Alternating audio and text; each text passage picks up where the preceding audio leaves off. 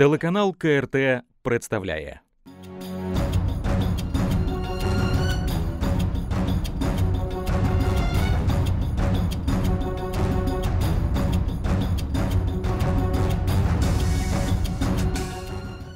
Вітаю вас, дорогі телеглядачі. Ви дивитесь програму без протоколу. З вами я ведучий Дмитро Василець. Сьогодні на гостях дуже цікавий гість. Це Семен Глузман. Вітаю вас.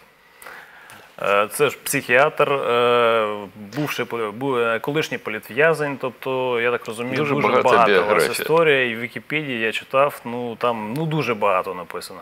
Але я думаю, щоб перейти зразу до наших українських реалій, перше питання буде стосуватися саме вашого профілю, тобто психіатрії, і що зараз буде відбуватися з через пару місяців згідно цієї медицин- медицинської реформи. Я впевнений, що ви про неї чули.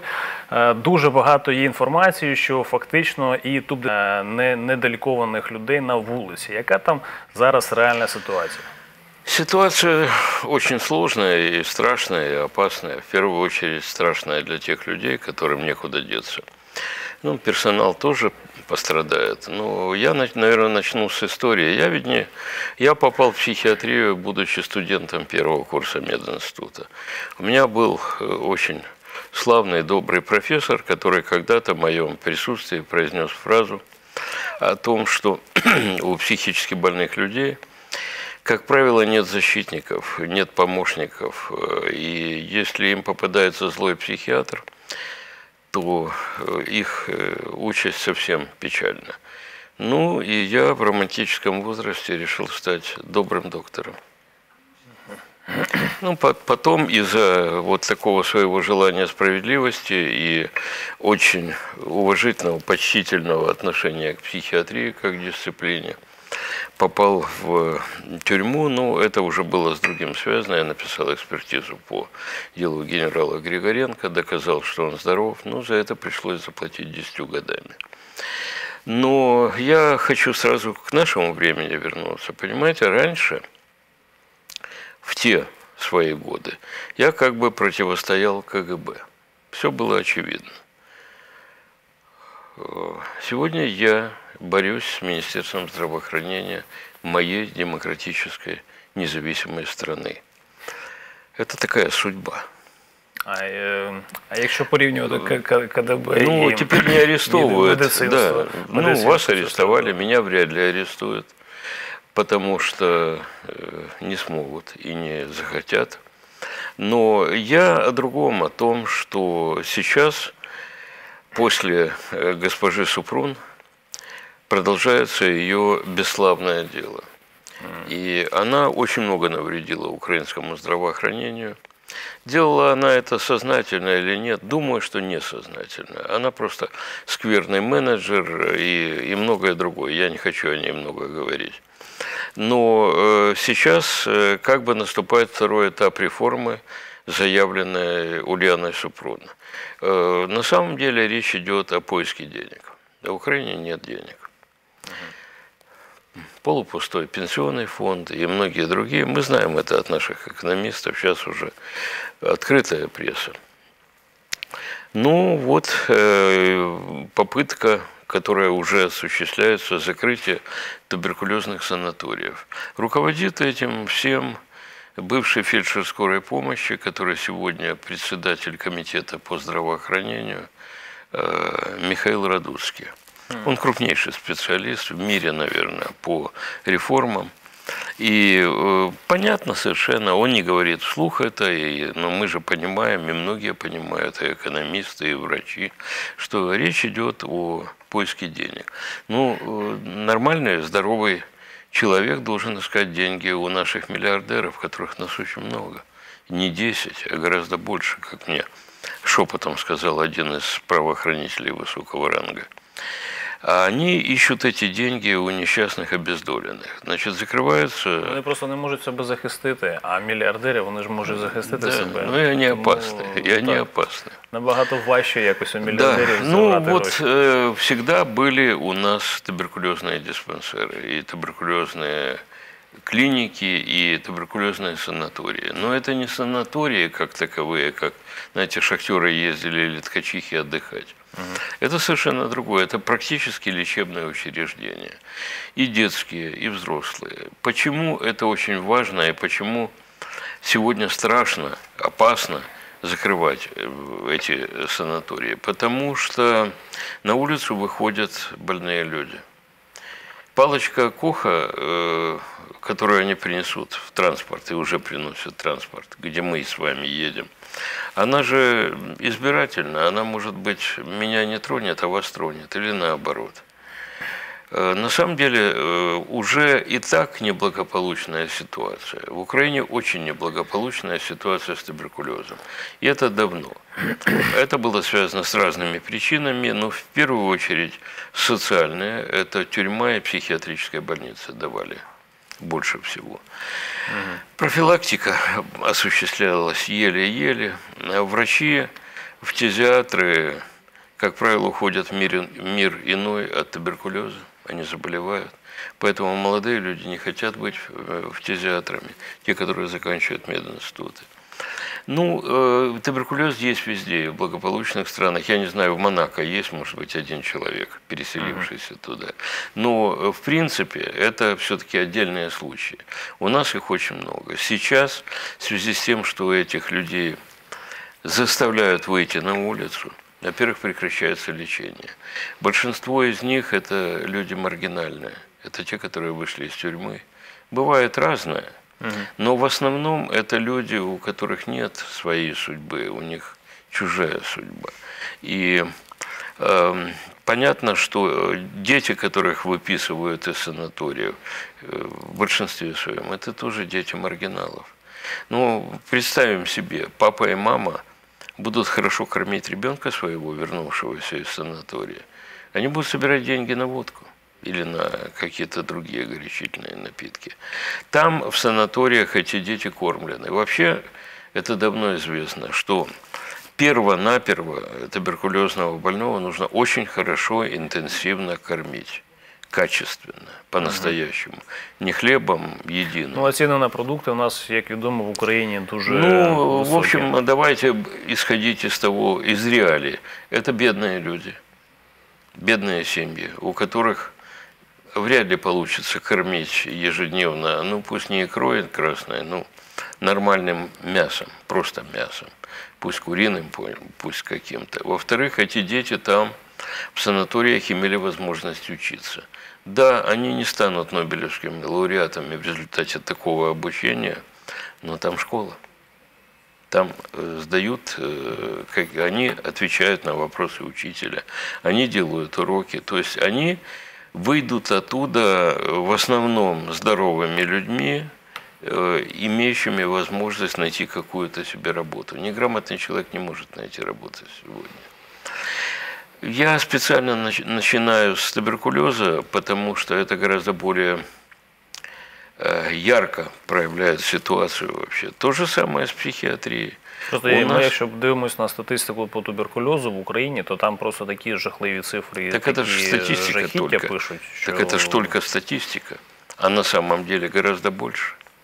Никто не знает сколько. Кстати, госпожа э, Супрун отменила статистику медицинская статистика, которая была, теперь она выглядит совершенно иначе, и мы, врачи... А должны... Ну так, ну вот у них там в Америке... Понимаете, все это рассказывать, весь этот бред так называемой реформы. Реформы же не было. Угу. Были слова, были какие-то непонятные движения, какие-то законопроекты, в основном о финансировании. То есть поиск денег. Угу. Ведь э, любая реформа должна начинаться с э, программы обучения. Этого не было, этим она не интересовалась. Ну, я не хочу о ней много говорить. Я надеюсь, что я доживу до того времени, когда она ответит перед судом, хотя Америка ее не даст. Угу. Я хочу вернуться к психиатрии. То же самое. В психиатрических больницах в основном, э, ну не в основном, действительно находятся больные люди.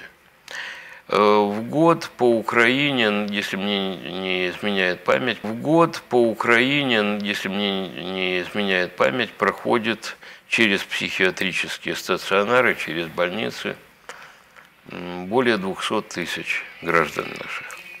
Но есть люди, которые немножко, как бы, ну, говоря простым языком, немножко больны, они проявляют какие-то особенности, но у них нет необходимости э, жить подолгу в э, психиатрической больнице.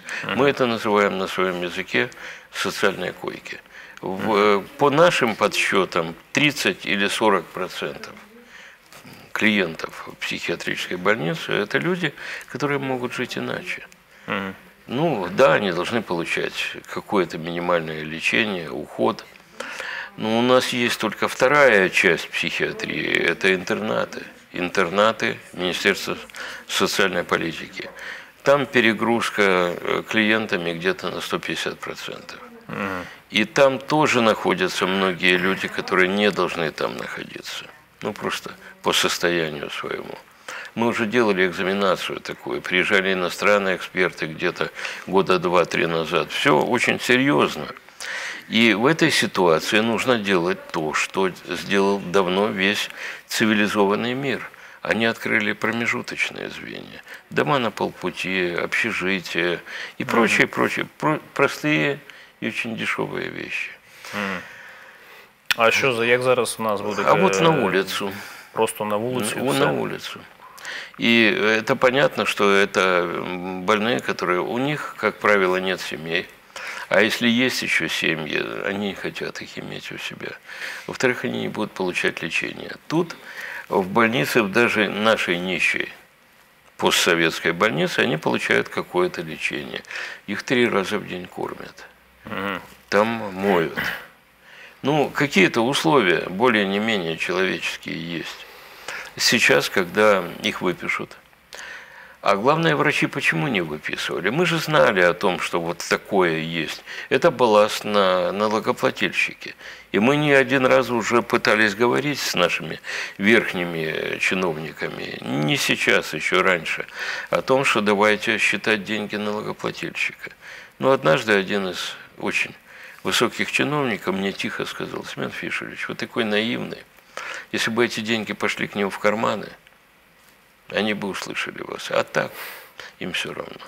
Но ведь мне не все равно. Я пришел в психиатрию для того, чтобы защищать больных. Да, у нас появились другие методы лечения, мы стали более эффективны, не всегда.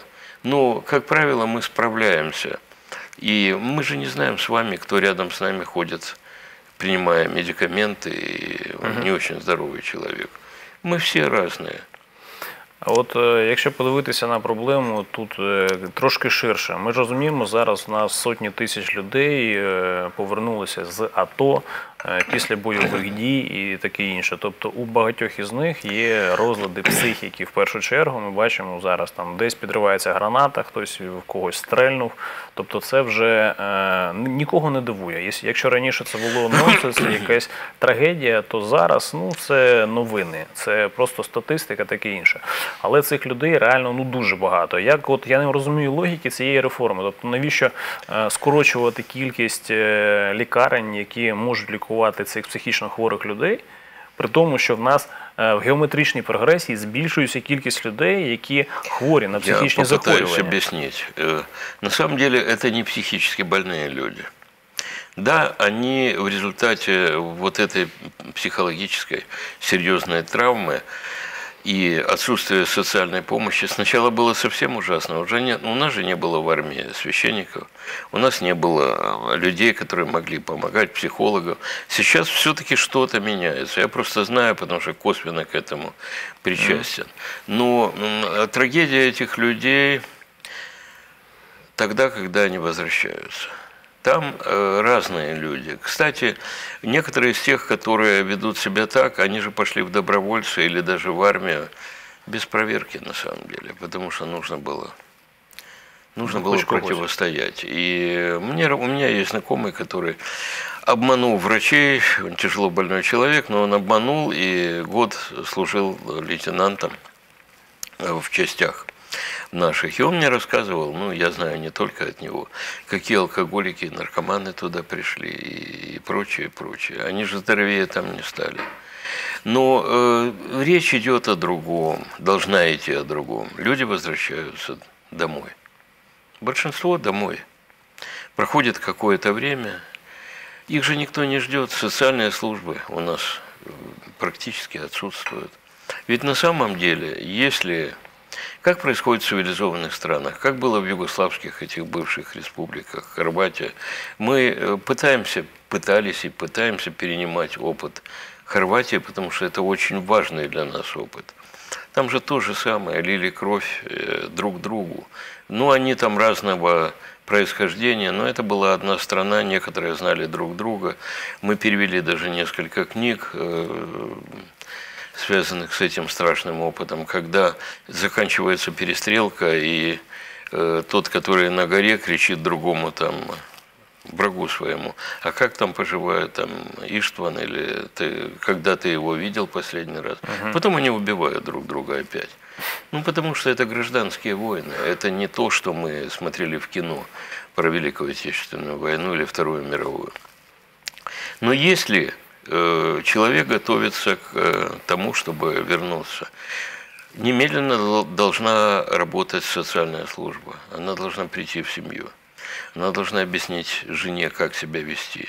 Нельзя требовать от человека, вернувшегося оттуда, тем более, если он не очень высокого интеллекта и у него на глазах убивали его друзей, он не может э, просто вернуться в этот мир. Он будет все равно тянуться к тем, которые прошли такой же путь. И да, они будут выпивать. Жене нужно объяснять, что нужно потерпеть. Угу. Нельзя э, требовать от него, чтобы он вел себя так, как ей хочется. Он, если он э, холоден к жене какое-то время, значит, есть ребенок, которого нужно учить, чтобы он почаще обнимал папу. Ну, простые вещи, ничего же не нужно. А у нас в психиатрических больницах находятся эти люди. Почему? Они находятся там потому что, не потому что они заболели. Ну, это наша диагностика, нужно койко-дни выполнять. Главный врач вынужден. Но кроме этого, а куда им деться еще? Были истории, когда пытались несколько лет назад открыть для них какие-то санатории, где они должны были находиться по месяцу, два, я уже не помню. Но это был полный бред. Это издевательство и над э, ними, и над э, реабилитацией. Потому что, ну чем они будут там заниматься? Пить с утра до вечера, с такими же, как они. То есть нельзя человека забирать из семьи. Даже если там неблагополучно, он должен быть в семье. Весь мир это знает. Но у нас это было неізвісно.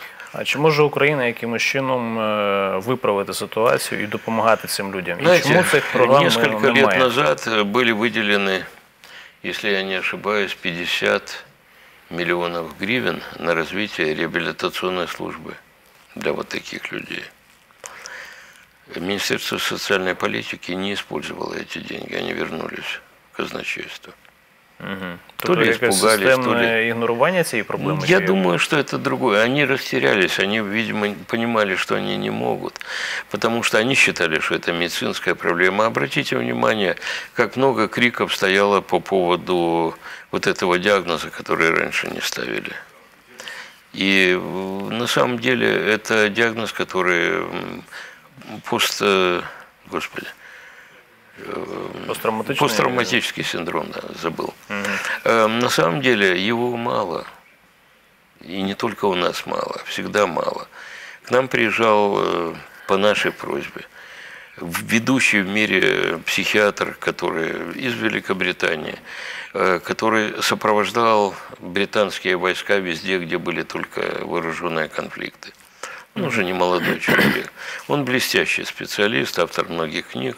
Он приехал сюда, чтобы за свой кошт. У нас не было денег проплатить ему. Для того, чтобы встретиться с министром здравоохранения, Супрун, и объяснить ей. Она не нашла времени. Ей это неинтересно было. И я не думаю, что больше я его не смогу попросить, чтобы он приехал. Не из-за денег. Но он увидел просто, что да, несколько психиатров были очень приятно к нему отнеслись, и, и все было прекрасно, но государство не заинтересовано. Е, У вас була е, практика працювати в СРСР. ви бачите зараз, яка ситуація у нас у медицині. Якщо просто порівняти е, е, охорону здоров'я у радянські часи і зараз, тобто ми зараз бачимо, закриваються лікарні, виганяють хворих на вулицю. Ми бачимо, що е, навіть ліки не завжди купують ті, які треба, і ну дуже кричучі випадки. Е, Якщо просто взяти в порівнянні радянську систему і то, що- те, що зараз. Е, Що ви можете з цього приводу Ну, сказати? э, я хочу говорить честно. Советская система э, э, совершила сказочные победы. Действительно ликвидированы были многие инфекционные заболевания. Они спорадически возникали, потом, я помню, в 70-м году была холера в Одессе, но справились, это еще была советская система. Э, Были вспышки дифтерии несколько лет. Но, тем не менее, туберкулез практически исчез. Ну, то есть он был, и мы, когда проходили, студенты, как мы говорили, проходили в фтизиатрию, нас возили в клинику, и мы видели, но открытой формы было мало очень. То есть это все-таки были залеченные люди, и не только маргиналы. Я помню, с открытой формой лежал какой-то очень, э, по-видимому, хорошо образованный человек, композитор, я фамилию его не помню, он умирал. Он этого не понимал, но нам шепотом сказали, что он умирает. То есть были эти случаи, но вот такого ужаса, как сейчас, нет, не было. Советская система э, здравоохранения сделала очень многое хорошее и полезное. Но она выродилась. Она выродилась, и я вырос просто в медицинской семье. Э, Я знал, и потом э, я учился, и два года я еще работал перед арестом. Потом я работал, когда спустя 10 лет вернулся, меня не пускали в э, психиатрию, я работал педиатром. Здесь я видел, я видел вырождение. Оно было. А в чому воно полягало? Ну, ну, качество система, это не значит, что качество обучения было плохое, но система создавала у врача страх, как бы чего ни вышло. Маленькие дети вообще э, заболевают очень быстро и могут быстро умереть. Поэтому педиатры участковые, которые девочки молодые там, или постарше ходили, они иногда назначали те медикаменты, которые назначать не следовало. Я видел это. Но э, поня... я понимал почему. Потому что если, не дай бог, что-то случится, ну, Питание тюрьма не иное. тюрьма, но она будет отвечать.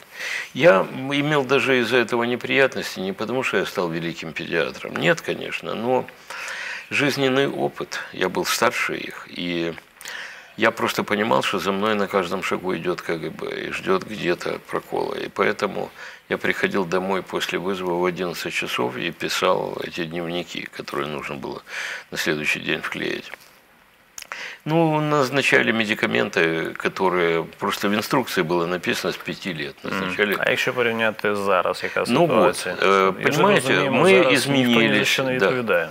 в принципі. Когда э, исчезло тоталитарное государство, оно исчезло. Ну вот растворилось оно в небытие Советский Союз, то м, стало очевидно, что та система, система Симашка, которая спасла миллионы советских людей, как могла, она уже не годна, потому что другие экономические э, обстоятельства, другие социальные обстоятельства. Ну и мир развивался.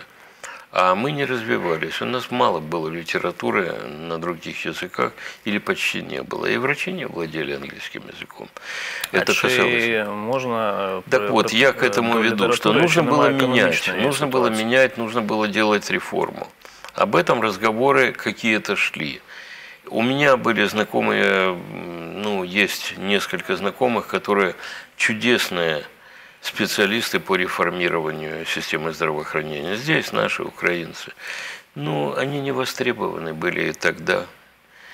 А э, менять реф- реформа впервые, если говорить совсем честно, мы плохо все относимся к Януковичу из определенных соображений, но во время Януковича была первая попытка реформы. Которую Реальную проводи- реформу? Рефор- Да, реформы, которую проводила э, зам главы администрации э, президента Ирина Акимова. Главой формальной была она, она экономист. А без экономики нельзя делать реформу. Но идеологом была лучший наш специалист, с большим уважением к ней. К ней относились и относятся и на Западе. Профессор э, общественного здравоохранения из Днепропетровска. Она сейчас работает. Угу. Валерия Никитишна Лихан. Угу. И они, у них не было такого ужаса, который придумала это последующее. Э, были определены три пилотных региона, только три. Нельзя эксперимент ставить над всем организмом. Организм может, ну ошибка же может быть. Так, э, Там были какие-то ошибки, но все, что потом делала э, Супрун, на самом деле, это была, была было использование того, что было до нее сделано, но только с искажениями ее личными. У нее не было э, отдельных регионов, она по всей стране решила сразу. Наш гениальный менеджер. Почему та, э, та реформа не была закончена, не была выполнена? Потому что социальная проблема возникли серьезная. Э, люди вышли на улицы. Майдан, антимайдан – и все, все закончилось. Потом э, была попытка как-то корректировать э, случившееся другими министрами. Но не было, видимо, понимаете, в нашей стране же инициатива по-прежнему наказуема. Для того, чтобы иметь э, возможность продолжать по-настоящему реформу, нужно было разрешение самых верхних лиц президентов. Видимо, президентам это было не очень интересно. Э, ну вот мне было очень легко работать, во-первых, ну не только мне, нам, э, ассоциации психиатров, а нам легко было работать с Раисой Богатыревой. Угу. Очень легко. Она практически врач, она очень хорошо... Я не говорю о каких-то ее других особенностях, тем более, что, извините вообще, только она была... Ну, мы знаем, что такое министр здравоохранения и э, откуда у них деньги – Раиса Васильевна была великолепна, она чувствовала, и она принимала решения. Когда я приходил и говорил, вот это надо изменить, она не э, копалась в какой-то литературе, она верила, она понимала, что я пришел после решения каких-то, какой-то группы правления. Потом э, была, э, был не очень хороший министр Квиташвили. Угу который пытался здесь, и сейчас он влияет, потому что он дружит с э, Радуцким. Он очень плохо влияет. Он, они хотят сделать грузинскую систему. Для нас опасна грузинская система. Что такое грузинская система? Если отойти от деталей, это частное здравоохранение. Угу. Ну а люди, у которых бабок нет нет денег. Не вписались у рынок, как кажут. Да. Ну, мы, ну, я вообще считал, что нужно сохранять общественное здравоохранение, но видоизменив его. Но потом стало ясно, что, э, наверное, нужно страховую медицину модель вводить. Но, понимаете, у нас невозможна страховая модель по очень простой причине. Когда наши ведущие эксперты, экономисты говорят, что 60% экономики в тени – кто будет оплачивать?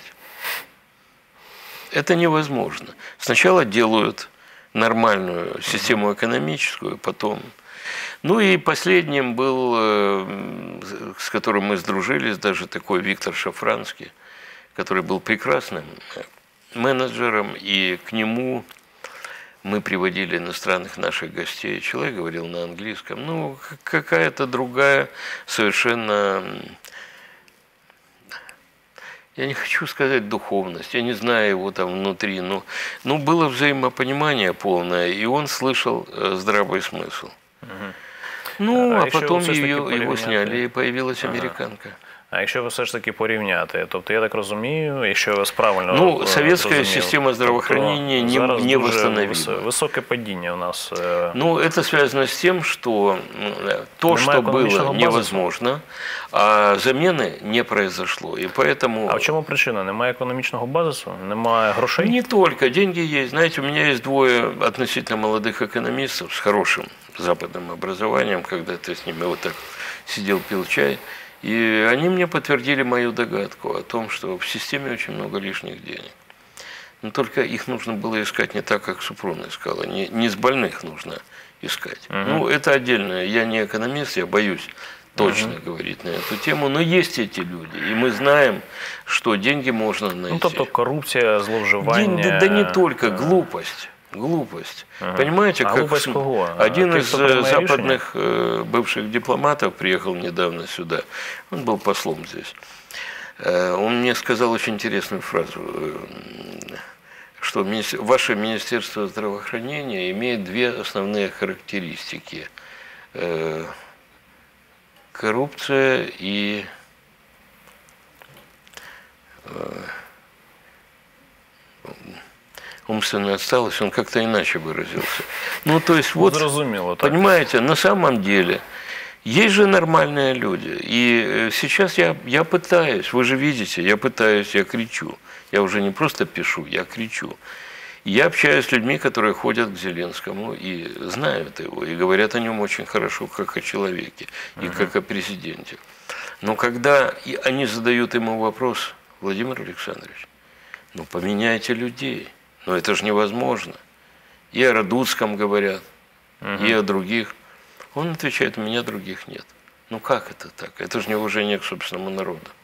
А якщо подивитись на от таку ситуацію, в принципі, глобально, то я от е, багатьох людей знаю, які теж у радянські часи виступали такими антисовєтчиками, як їх прийнято називати, чи як.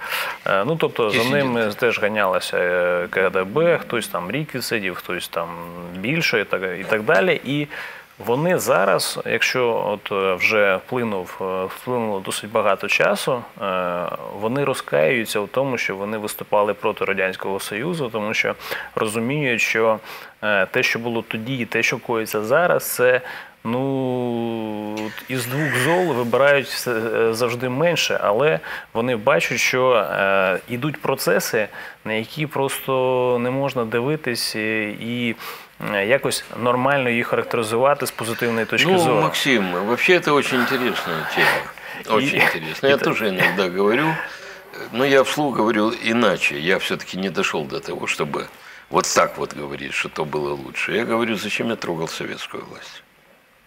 Ну, mm. моя... Тобто, в принципі, вас, вас теж цей тренд э, зачепив. Ну, да, ну, потому что я хотел, на самом деле, чего я хотел? Я же сел 25 лет uh-huh. совсем. И на самом деле у меня же не было мысли о распаде СССР, там, признания Украины независимым государством. У меня было совершенно другое поползновение. Я хотел свободы слова. Угу. Я хотел читать Солженицына не в самиздате, в открытом угу. журнале. И многое другое. Почему я влез в антипсихиатрию, ну, против советской психиатрии? Потому что это тайно делалось, потому что это не доказывалось. Просто, ну, в институте сербского в Москве, институте судебной психиатрии, могли назначить психбольным, шизофреникам даже лабораторную мышь или кролика. Угу. Там просто была система, сверху сказано все. Я думаю, что все-таки это не совсем правильно, мягко говоря, а в общем это неправильно. Потому что, во-первых, Советский Союз сам себя съел. Ну, мы же знаем, что экономика Советского Союза подкосила существование советского государства. Э, недаром же Косыгин где-то в конце 60-х об этом не говорили, не писали тогда, но было известно, а сейчас уже открыто. Видимо, единственный умный человек там, склонный к анализу какому-то в Политбюро был. Он с помощью своих помощников подготовил некий документ о необходимости реформирования только экономической ситуации в СССР. Ничего более. Но когда он предложил это этим старичкам из Политбюро, они сказали нет. Ну, дальше mm. возникло. Да, время быстро идет. Тогда казалось, что это медленно, а вот и нет Советского Союза. И никто не вступил войсками сюда. И американцы, и другие армії НАТО не прийшли сюди. Здох ну, на деякі, на деякі країни прийшли все ж таки. Польща, Прибалтика, Нет, Румунія, я имею в виду, что мы, Німеччина. Советский Союз умер сам по себе. распался. Горбачев был неумным э, менеджером, он думал чуть-чуть подправить, он плохо понимал. Ну, неважно, мы сейчас не это анализируем, но система э, должна была как-то реформироваться. Социальная система в первую очередь. Но с внешней политикой это всегда сложнее, потому что есть влияние, и сегодня оно очень мощное влияние. Мы знаем об этом, и мы говорим об этом. Вы, журналисты, нам угу. даете эту информацию. Но тут же идет речь о другом, но не американский президент, ни Макрон, никто не будет вмешиваться в реформирование социальной системы, оздоровление социальной системы. Никто из них пальчиком Зеленскому не скажет, но но не трогай. А, от а он не при... делает это. А от з цього приводу питання. Ну, е... Ці дисидентські рухи, підтримка усіх, хто виступав проти СРСР. Тобто ми бачимо, що досить часто західні країни країни користувалися цим для того, щоб тиснути чи якимось чином е, укоряти нашим країнам навіть після розпаду радянського союзу. І от з вашої точки зору, ви в принципі всіх їх, я так розумію, багатьох особисто знаєте тих людей, які е, відстоювали принципи свободи слова, рівності, таке інше. Вони реально хотіли для України, е, щоб в нас не порушували права людини, чи вони просто політичні Знаете, агенти впливу, яким просто плювати я на це все? Я отвечу очень честно, будут большие проблемы, это очень многим не понравится, в суд на вас не подадут. Но, знаете, в самое большое количество диссидентов, отсидентов, было с Украины, из Украины. Не только украинцы, этнические, разные. Угу. То есть тут был какой-то фермент сопротивления. Ни одного белорусского диссидента мы никогда там не видели в наших лагерях. Ну и других, я не буду называть среднеазиатских. И это говорит о том, что в этой стране что-то было. Это была реакция на несправедливость и этническую, на культурное давление, на, на разные. Разные факторы были, разные люди вступали в сопротивление с властью. Не все они были роскошные интеллектуалы или моральные. В зонах в наших разные люди были. Ну, потому что так получалось. Это же не КГБ отбирал, он как бы отбирал. Но что я хочу сказать, что подавляющее большинство украинских диссидентов, подавляющее большинство, не пошло в защиту прав человека потом. Они получили МОВу, они стали депутатами Верховного Совета первого созыва. Там было 10 или 11 человек. Не все, естественно. Кто-то там в провинции стал мэром – в отличие от нескольких российских диссидентов, которые с нами сидели, их было немного, но они были, э, там все-таки пошли в управление те, которые пошли в Слава Бахмин с двумя судимостями и прочее, они пошли в руководство, их не очень Ельцин поднимал, то, то же самое. Таких боялись всегда – но тем не менее они думали о правовых аспектах жизни России. А здесь о правовых аспектах почти никто не думал из бывших диссидентов, потому что все же произошло. И они же потом говорили о худшем из наших президентов. И это близкие мне люди, и некоторые уже мертвы. Фамилии называть не буду. Э, клише было такое про Ющенко – Це перший український президент України. А он был худшим. На самом деле в истории когда-нибудь, которая будет, там ну, скажут, что Ми бачимо лікарню майбутнього, які Ну, это уже, да, это, это отдельная история. Я хочу сказать, что не было готовности строить европейское государство у диссидентов многих наших. Mm. И э, получилось бы или не получилось бы, Это другой вопрос. А щодо тих, е, хто їх підтримував з міжнародних е, Ну, усіляких международные не організацій? очень, вы же помните, Е, ви ж, приезжали е, сюда. Я, я просто хочу зрозуміти, оті люди, які там за кордону, там Amnesty International, всякі фонди, Ні, відкрите вони суспільство, таке підтримували- інше, вони вони- підтримували чисто для того, щоб е, Освободить. геополітичний інтерес Нас всех свій, поддерживали е, правозащитные организации Запада, но они поддерживали нас как узников совести, как они называли. Вот и все. А дальше, э, если вы вспомните, то приезжали зарубежные очень высокие э, лидеры и просили Украину э, не отделяться от Советского Союза. Было же такое. Ну, произошел распад. Э, Они же не случайно это говорили. Они исходили из, э, по-видимому, ожидания опасности. Было непонятно, что произойдет. Тем более Украина обладала огромными запасами и ядерного, и другого оружия. И как бы это оружие без хозяина оказалось. Поэтому я не думаю, что мы, диссиденты, могли бы... Меня дважды приглашали в Верховный Совет. Дважды я отказался. Просто категорически отказался. Однажды э, меня спросили, не буду называть кто, известный человек. Почему? Вот объясните почему. Ну, я не хотел объяснять все, я объяснил просто, чтобы он отстал от меня. Если я буду сидеть с вами там и слушать этот ужас, который произносит э, Петя Симоненко или Наталья Ветренко, я не смогу молчать. Если я не буду молчать, я умру от инфаркта или инсульта. Я хочу жить. А якщо подивитись на таку проблему, от у нас зараз в Україні є дуже багато е, в е, міністерствах, в Верховній Раді представників е, фондів відкритого суспільства, грантівських організацій, таке інше. І зараз дуже чітко видно, як вони негативно впливають на українську економіку, на е, соціальні е, проекти. На е, вони виступають за скорочення в принципі усіх соціальних напрямків за перегляд, наприклад, трудового законодавства, за там продаж землі, таке інше. Тобто, у нас в українському суспільстві вже є такий таке кліше, такий ярлик соросята. І е, всі, я так розумію, от Джордж Сорос, фонд відкрите суспільство, відродження. І ми розуміємо, що е, ви. Я так розумію, більш детально розбираєтеся, що насправді які цілі пере- переслідують ці фонди.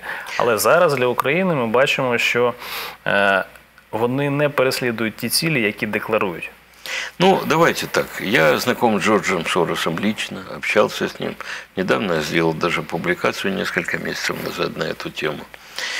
А Джордж Сорос, на мой взгляд, вот его портрет, который я сложил себе, миллиардер-романтик. Он думал, что 5 миллионов долларов, которые он давал нам, я был э, одним из членов правления фонда Сороса.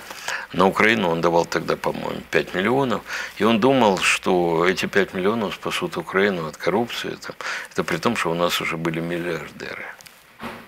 Другие, там, Пинчук, э, и Ахметов и прочие. То есть это были мелкие деньги. Но он искренне хотел, я с ним общался несколько раз очень откровенно.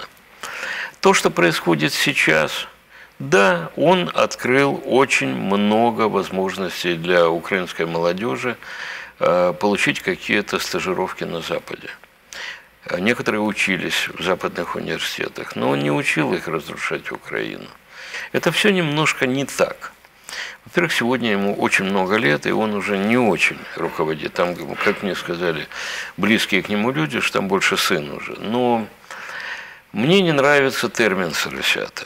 Ну, термины могут быть разные. Понимаете, ну, у меня есть несколько знакомых, близких знакомых, даже родственник мой зять, который получил возможность, он математик, он не политик, Э, он получил возможность повысить свою квалификацию благодаря фонду Сороса. Э, Я знаю молодого человека, относительно который ездил в этот закрытый сегодня его университет в Венгрии и учился там, и вернулся сюда, и потом пошел служить в армию, когда Россия напала. И год служил, я о нем рассказывал, что больной человек, но скрыл.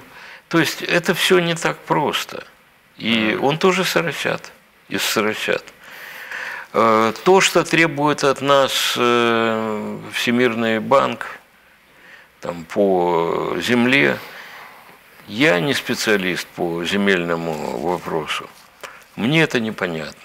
Я понимаю, что в принципе можно было бы как-то действительно торговать землей, ну, плохое слово торговать, ну, в общем, продать землю. Но для этого же нужно А, Б, С, все это описано. То, что сейчас идет давление на Зеленского и на правительство, мы это знаем. Это плохое давление, это скверное давление, это то, что может привести к эм, коллапсу просто украинской э, государственности. Я боюсь этого. Но я все-таки э, считаю, что не следует говорить о всем Западе. Вот в течение 30 лет именно я, бывший политзаключенный, известный в мире человек, приводил сюда, и они продолжают нам помогать, очень много западных э, психиатров, э, специалистов в близких отраслях. Они нам подарили огромное количество возможностей. Мы издали 130 книг, перевели и издали. Это была абсолютно честная, продуктивная работа. Более того, они все время смотрели за руками, в отличие от многих наших Ну, мы и не были готовы к тому, чтобы красть. Но, в общем, это было все по-честному с двух сторон. И э, это тоже Запад. Но сейчас они, вот эти западные люди, Э, которые на самом деле ведущие были в мире специалисты, они здесь не востребованы. В програмі був Семен Глузман. Це була програма без протоколу. З вами був я і ведучий Дмитро Василець. До зустрічі.